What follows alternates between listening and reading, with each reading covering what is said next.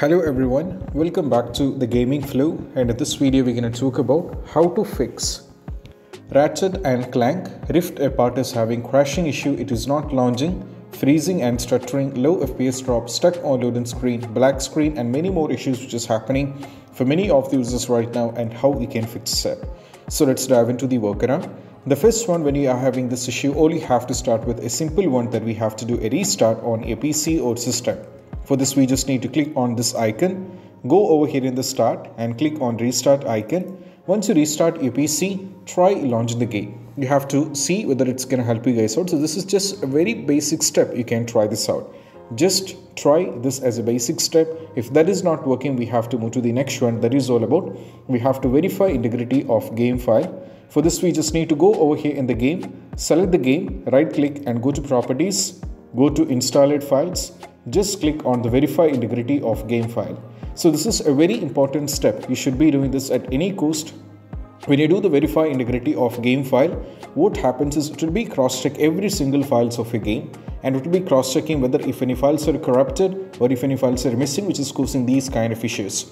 So you have to cross-check every single files of a game. So you just do this particular one and you have to wait this to reach 100% and you have to click on the play button and try to launch the game.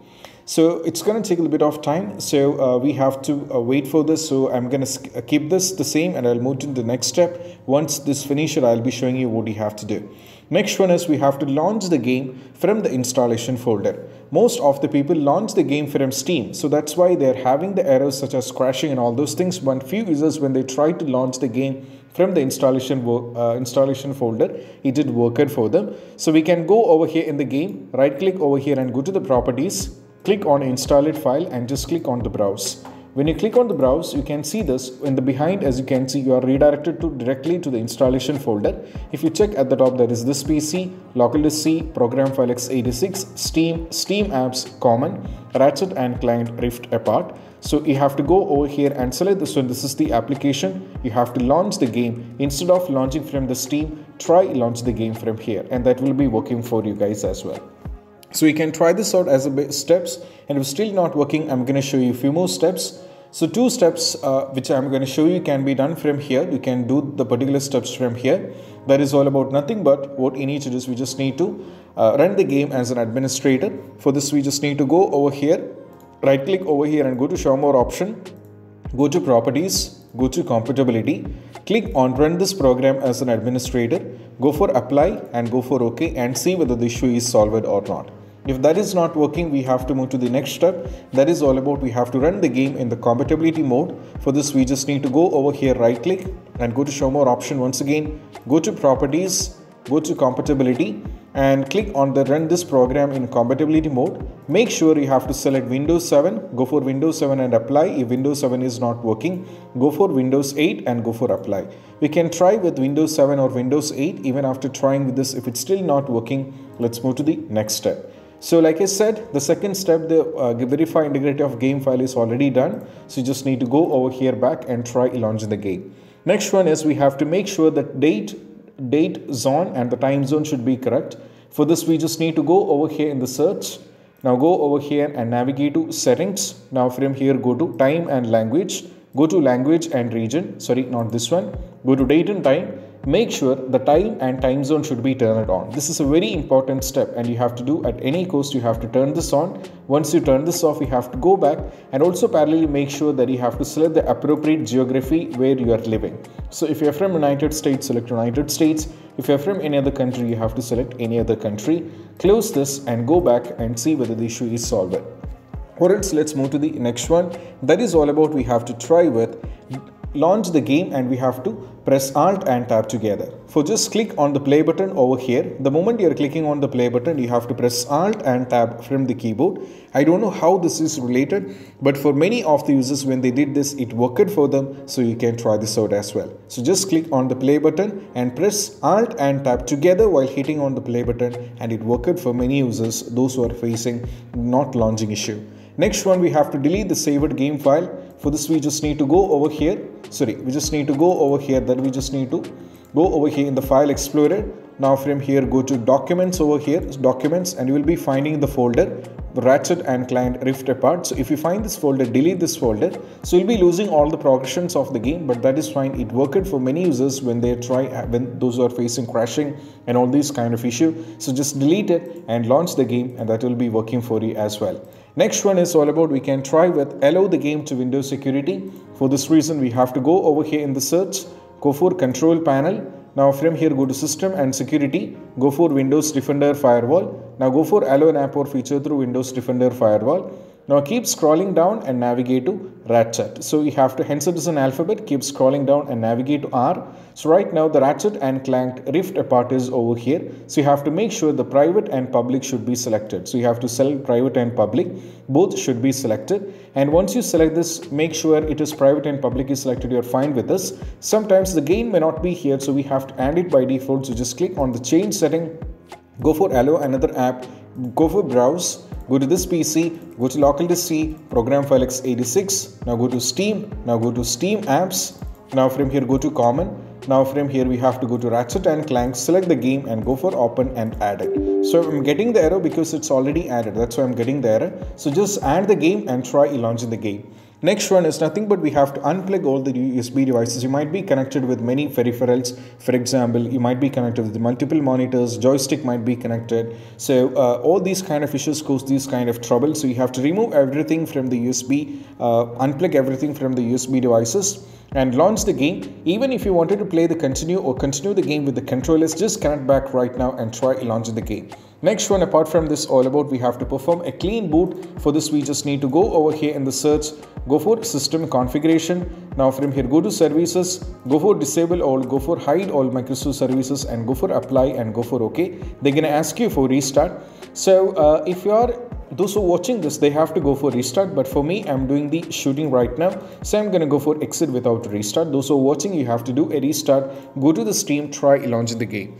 Next one is nothing but we have to disable the steam overlay. For this just go over here in the game. Right click over here and go to the properties now from here make sure if this is turned on you have to turn this off. If it is turned on you have to turn this off. Once you turn this off try launch the game. If that is not working we have to go over here in the launch option. The launch option we have to give two commands. The first one is all about you can try with the dx11 launch the game if dx11 is not working. Close this and go to dx12 and try launch the game. So dx11 or dx12 any one of the thing will be working fine. So you can try this out. And once you're done with this we have to move to the next step next step is nothing but we have to close all the overlay application which is causing the issue. So we have to go over here in the start right click over here go to the task manager. Right now as you can see there are many apps running in the background so we have to remove the unwanted apps running in the background. For example, Discord, Riva Tuner, MSI Afterburner, all these kind under this category. So if you find unwanted things over here, you have to remove it at any cost, which will be minimizing the crashing issue. So just remove unwanted things from here, especially all the overlay as well as overclocking application. You remove this and move to the next step. Next step is nothing but you can try with running the game on dedicated graphics card. For this, we just need to go over here in the search, go for graphics settings Right now, as you can see, I have already added all the games. Same way you have to add the game. So just click on the browse, go to this PC, go to local disk C, go to program file x86, go to Steam folder over here, navigate to Steam apps, go to common over here, and we have to go to Ratchet and Clank Rift Apart. So select this one and go for op add it. So once you add this, you have to make a very important change. Just click on the option. This will be by default this will be let windows decide. You have to set this to high performance and go for save once you save this to high performance and you have to keep in mind or else you'll be having a lot of trouble. So set this to high performance. And once you set this to high performance you have to close this go back and try launching the game Next one is nothing but we have to increase virtual memory which is a very important step and it worked for many users. Just go over here search for view advanced system setting click on the advanced tab go for setting once again advanced once again go for change and over here as you can see automatically manage paging file size for all the drivers should be blank and you have to select the local disk where the game is installed. Go for custom size, select the value for initial size that is 1.5 times the total RAM and the maximum size is 3 times the total RAM. So first we need to do a calculator, we need a calculator so we need to do the calculation. So 32 GB is the RAM of my computer so I have to compute it with 1024 then you have to multiply it with 1.5 because initial size is 1.5 times the total RAM. So just copy this and you have to paste it. Next one is all about we have to try with the same 32 GB multiplied with 1024 that brings you into 3 that brings you 98,304 so just have to copy paste it as well.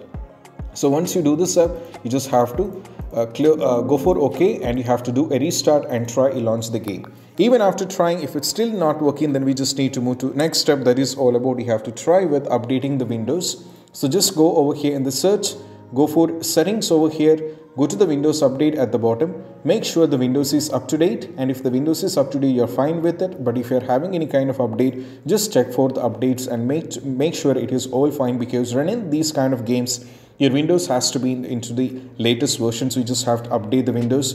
Once you're done with this just go back and try launching the game. Next one we have to update the graphics card. So i'll be providing link in the description to both nvidia as well as for the amd the nvidia users have to come over here. They have to select the product type. They have to go for the product series. They have to select the product. Operating system should be selected. And if you're on windows 11 you have to select windows 11 everything should be selected and you have to go for start search and once you go for start search you'll be getting all the outdated versions of graphics card. For example right now the driver version is 536.67 you have to go over here download this one install restart is a mandatory and you have to um, uh, go further. Same way if you're on the amd you have to go to the graphics. You have to select every details over here and go for submit. Once you go for submit you'll be able to find it. So if you're on windows 11 you have to download this one. If you're on windows 10 you have to download this one. And you have to try uh, restarting and try launch the game. Parallelly also you can try with installing the microsoft visual c++ because it worked for many users so you can try this over as well. So go to this link. You can download. If the system is x64 based one you can download this one if the system is x86 based one you can download this one install restart is a mandatory and once you install this you have to go to the next step last and the least step is all about you have to uninstall and reinstall the game. For the just go over here in the game right click over here go to the manage uninstall the game. And once you uninstall the game you have to go back. And when you're reinstalling it back you have to keep in mind you should not be installing back on the same local disk from which you have already uninstalled. You can try any other local disk. So this particular step fixed many of the issues for me when I had issue with trouble with games like Back 4 Blood, uh, Back 4 Blood and even uh, uh, Left 4 Dead 2 and all these things so you can try this out. So these are the possible workaround which can be done and I hope this video is helpful and if you find this video helpful don't forget to subscribe and click on the bell icon for more these kind of videos. See you soon in the next video. Peace out. Bye bye.